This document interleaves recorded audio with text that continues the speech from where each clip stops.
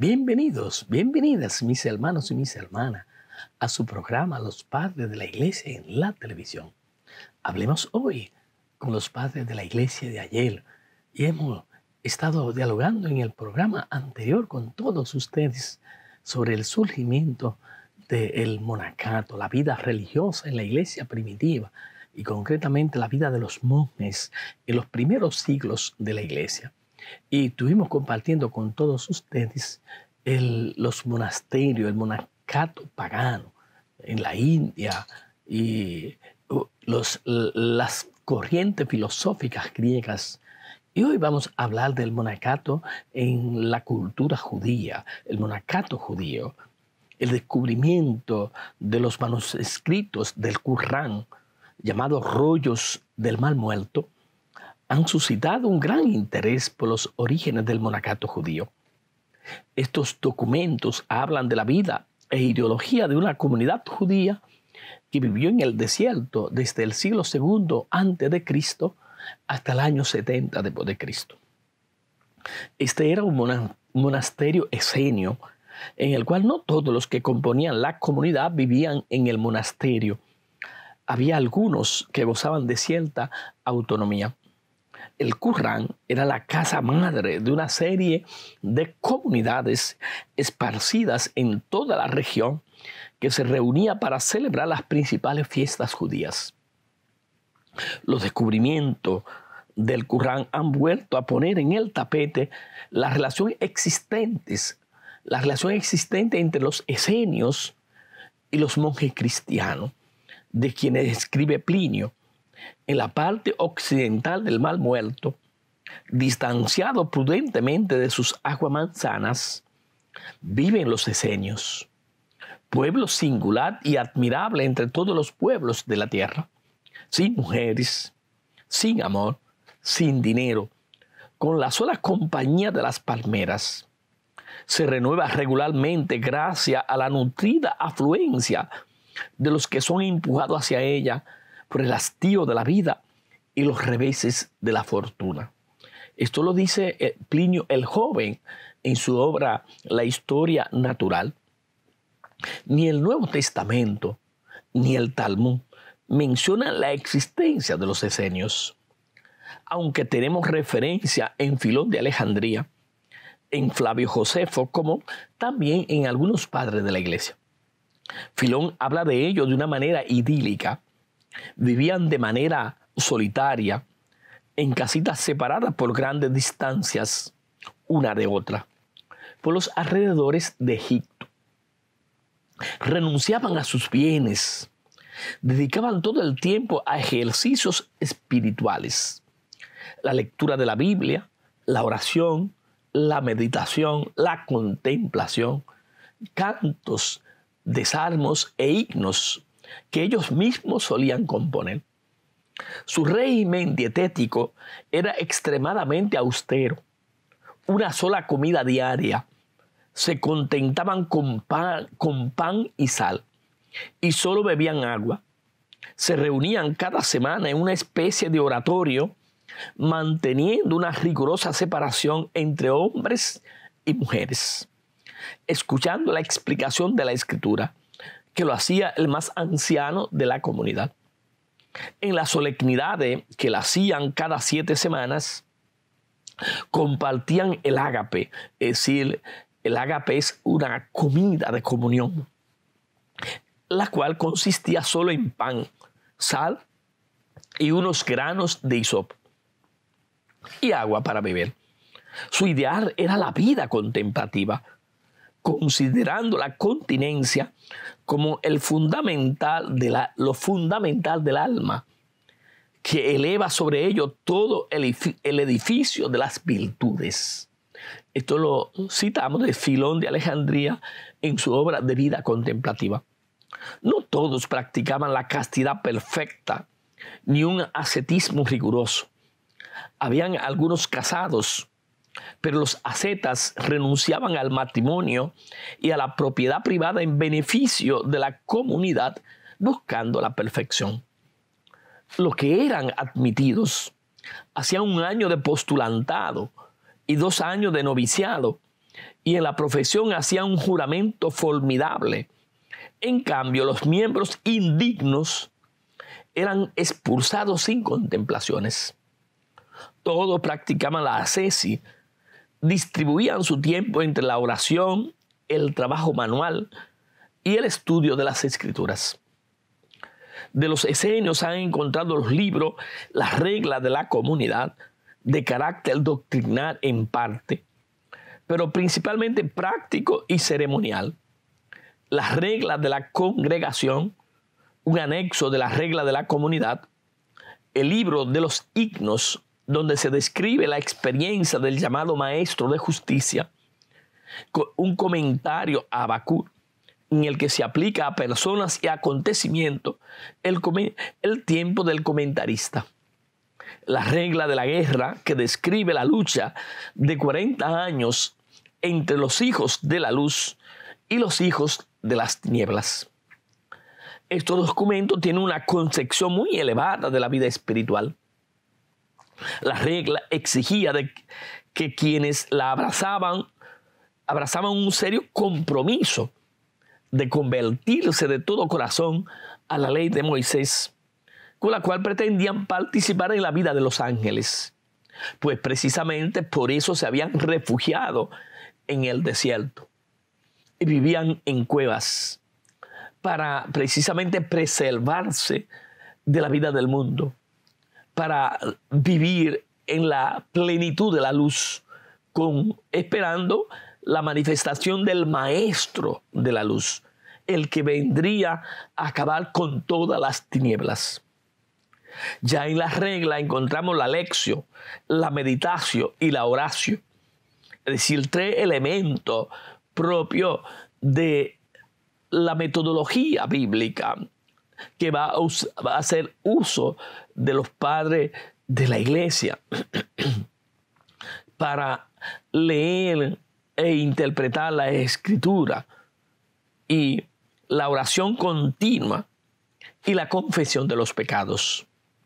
Conocían una mística de la luz y de los misterios revelados, contemplado por el Maestro de Justicia y, transmitido por él a sus discípulos sirviéndose de una nueva interpretación de la escritura.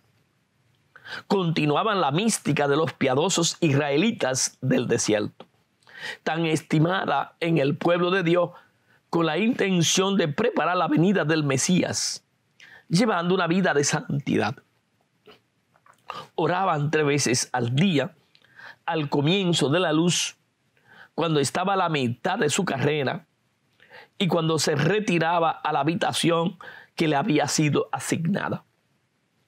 Las analogías con el monacato cristiano saltan a la vista de tal modo que Rigut llega a sostener que el monacato cristiano está demasiado cerca de varias instituciones del Qur'an para no deberle las formas de su organización.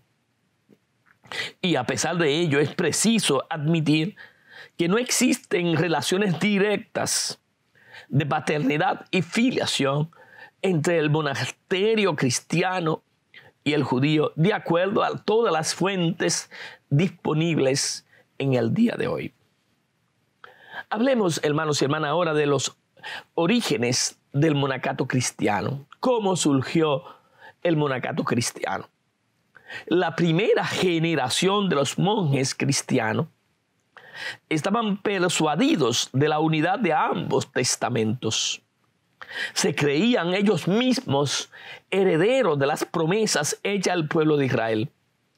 El Antiguo Testamento como el Nuevo Testamento no eran no era de realidades diferentes. Tenían su mismo origen. Su origen era Dios. Eran dos tiempos de una única realidad. Esto es la historia de la salvación. De este modo, la historia del pueblo de Israel es la historia de la iglesia de Cristo, de la que Israel es figura y principio. Por lo que esta historia no ha terminado, prosigue en la vida de cada uno de los cristianos.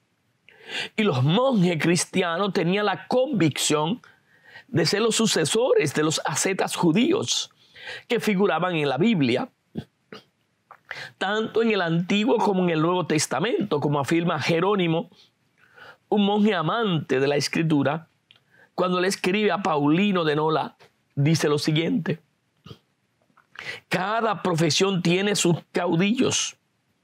Los generales romanos tienen los Camilos, Fabricios, Regulos, Escipiones. Los filósofos a Pitágoras, Sócrates, Platón y Aristóteles. Los obispos y presbíteros a los santos y apóstoles. Y en cuanto a nosotros, tenemos por caudillo de nuestra profesión a los Pablos, Antonio, Julianes, Hilariones y Macarios. Y para volver a la autoridad de la escritura, nuestro príncipe es Elía, nuestro príncipe es Eliseo, nuestros guías son los hijos de los profetas que habitaban en el campo y en el yelmo y fijaban sus tiendas junto a las corrientes del Jordán. Aquí entran también los hijos de Racat, que no bebían vino ni licor para que lo embriagase. Habitaban en tienda y son alabados por Dios y son alabados por voz de Dios en el profeta Jeremías. Esto lo dice San Jerónimo en su carta 58, número 5. Es decir, el desierto es un tema central en la historia y en la formación del pueblo de Israel. Y es un tema central en la historia y en el nuevo pueblo de Dios que se va forjando. Seguiremos hablando de este tema, mis hermanos y mis hermanas, en el próximo segmento. No se aparten de su televisor.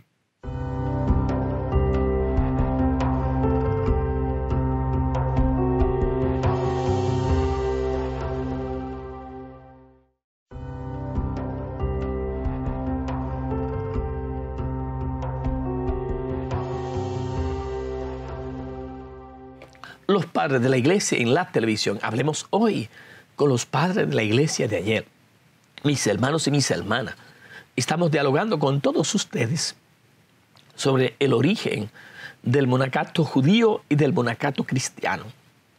Y hemos hablado de modo concreto en el segmento anterior de los esenios, una comunidad judía que existió en el siglo II hasta el año 70 después de Cristo que aunque no es citado en los evangelios ni en la Talmud, sí aparece en algunos documentos de aquella época que narra la vida del maestro de luz y las costumbres que tenían los monjes judíos, que se acercaba bastante a la vida que va a surgir eh, el monacato cristiano, aunque todo demuestra que no tienen relación alguna pero sí adoptaron, asimilaron de algún modo algunas prácticas existentes en aquella época los cristianos, que eh, tenían, así como Israel, tenía como un tema central el desierto y la formación del pueblo de Israel cuando quiso desposarse, cuando Dios quiso desposarse con Israel, según las escrituras, lo condujo al desierto y allí se produjeron los grandes prodigios divinos. Atravesaron el mar rojo, comieron el maná, bebieron el agua que brotaba de la roca, fueron testigos de la teofanía del Sinaí. En el desierto se realizaron los desposorios de Dios con la humanidad. Y también en el desierto es el lugar de la prueba, de la tentación, de la lucha contra los enemigos de Dios en este desierto inhóspito y cruel, se prepararon para su misión Abraham, Jacob, Moisés, Elías e incluso Jesús. En el desierto encontraron los monjes cristianos sus predecesores, algunos en hermandades carismáticas, otros de manera individual, a los cuales Jerónimo le llama hijos de los profetas y a quienes se construían pobres chozas junto a las corrientes del Jordán. Huían del bullicio de las ciudades y pasaban con unas pobres poleas y hierbas agrestes, se sustentaban. Pero fueron Elías y San Juan el Bautista las grandes figuras que atrajeron a los monjes cristianos. Elías, el varón de Dios, que se aparta del mundo y se acoge al desierto. El hombre casto, austero, hombre de oración y contemplación, que habla y discute con Dios. Se convierte en el prototipo del monje, en la perfecta realización del ideal monástico. De Juan el Bautista afirma que es el nuevo Elías. Consideren, oh monjes, su dignidad. Juan es el príncipe de su institución. Es monje y apenas nacido vive en el desierto. Se educa en el desierto. Espera a Cristo en la soledad. Cristo es ignorado en el templo y predicado en el yelmo. Dichoso los que imitan a Juan, el mayor de los nacidos de mujer. Esperaba a Cristo, sabía que vendría. Sus, hijos, sus ojos no se dignaban mirar otra cosa. Eso dice San Jerónimo en su homilía sobre Juan el Evangelista. Para la mayoría de los padres de la iglesia, el verdadero fundador del monacato cristiano es Jesucristo. Las otras grandes figuras del Antiguo Testamento coinciden en afirmar que son precursores de los monjes. Ellos siguen la doctrina y el ejemplo de Cristo, quien antes de iniciar su vida pública se retiró al desierto y entre bestias salvajes ayunó y luchó con el demonio por espacio de 40 días. Buscó la soledad de los montes para orar con el Padre. Practicó el más absoluto desprendimiento de los bienes de este mundo. Modelo sublime de virginidad, de renuncia, de obediencia a la voluntad del Padre, a la vida de oración. Es Jesucristo el ideal del monje. Y en este sentido, dice Basilio, que el monje es quien realiza la vocación de imitar a Jesús. Eusebio de Mesa lo describe así. Vimos a un hombre que no había contraído matrimonio. Aprendimos a no casarnos. Vimos a un hombre que no tenía dónde reclinar su cabeza y aprendimos a despreciar todas las cosas. Vimos a un hombre que andaba por los caminos no para comprar y poseer cosa alguna, sino para enseñarnos a abandonar los bienes que nos pertenecían. Vimos a un hombre que ayunaba para enseñarnos a ayudar, no con palabras, sino con ejemplo. Los monjes de la antigüedad se consideraban los continuadores de los amigos de Dios, que nos daban a conocer las escrituras sobre todo aquellos que conocieron la experiencia del desierto y practicaban una vida más o menos semejante a la suya. En las primeras comunidades cristianas dominaba un rigorismo moral, un cierto encratismo, que no era la cesis que encontramos en todas las religiones, ni la condenación del cuerpo, ni el resultado de una metafísica dualista, es una serie de restricciones en el uso de los bienes materiales. Este encratismo no, provenía de la esencia del cristianismo, de las influencias gnósticas, sino que provenía de las corrientes pietistas judías a las que pertenecieron muchos de los primeros cristianos. Esto se daba entre los judeos cristianos ortodoxos, como en las sectas heterodoxas.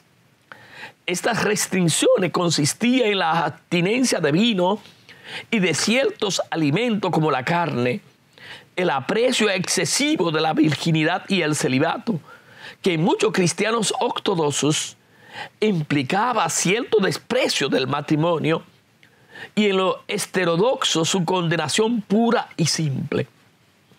Cuando las persecuciones empiezan a azotar cruelmente a la iglesia, los cristianos fervientes cifran sus anhelos en dar su vida por el Señor.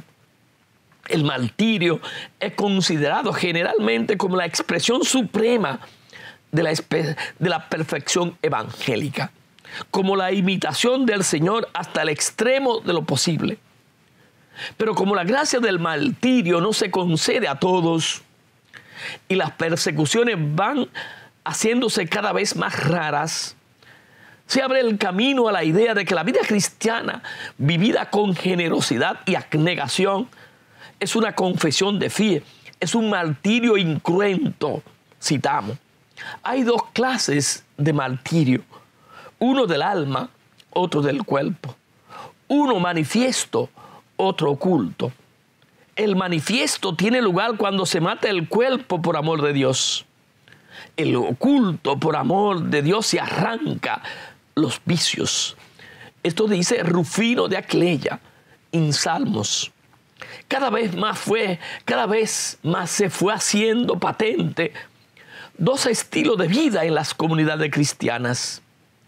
Especialmente en Siria se hablaba de justos, los cristianos ordinarios se le llamaba justos. Y a los perfectos, a los ascetas, se le llamaba perfectos. El primer género supera la naturaleza y la conducta normal, no admitiendo matrimonio ni procreación, comercio ni posesiones, apartándose, apartándose de la vida ordinaria. Se dedica exclusivamente inundado de amor celestial al servicio de Dios. El de los demás es menos perfecto. Para ellos se determina una hora para los ejercicios de piedad y ciertos días son consagrados a la instrucción religiosa y a la lectura de la ley de Dios. Y esto lo dice Eusebio de Cesarea en su obra Demostración Evangélica. Durante los primeros tres siglos de la iglesia, las vírgenes de Cristo vivieron en sus hogares. No llevaban hábito o distintivo especial. Tomaban parte en la vida social. Asistían a las bodas y danzas y frecuentaban los baños sin tener ningún lugar especial en el templo. Aunque eran considerados una, una profesión estable y definitiva para quienes la abrazaban libremente con conocimiento de la comunidad y la previa aprobación del obispo, pues ya existía un voto de virginidad. En cambio, a partir del siglo IV, va siendo más numerosa poco a poco. Se va configurando casi exclusivamente el misterio de las diaconisas. Los padres de la iglesia no se cansan de alabar la virginidad cristiana según ellos, es la parte más ilustre del rebaño de Cristo. Son como blancos lirios, vasos consagrados, santuarios escogidos por el mismo Dios, estrellas radiantes, morada del Espíritu Santo, ángeles terreno, como dice San Ambrosio de Milán. Nadie se admire si son comparadas a los ángeles la que se unen en desposorio con el Señor de los ángeles. Eran consideradas esposa de Cristo. De tal modo que la Virgen infiel a su propósito era considerada como adúltera y sometida a severísimas penitencias. Ella se le exigía la práctica de una ascesis vigilante, cultivo de todas las virtudes y una vida enteramente santa se debían alimentar con moderación y no descuidar la las velas nocturnas, la práctica del ayuno frecuente, de tal modo que su verdadero tesoro son los bienes espirituales. Estamos hablando de las, de las vírgenes, eran laicas consagradas totalmente a Dios. Seguiremos hablando de este tema de la vida religiosa de los padres de la iglesia en nuestro próximo programa seguiremos profundizando en este tema. Que el Señor me les bendiga, me les llene de vida y me les conduzca de día en día.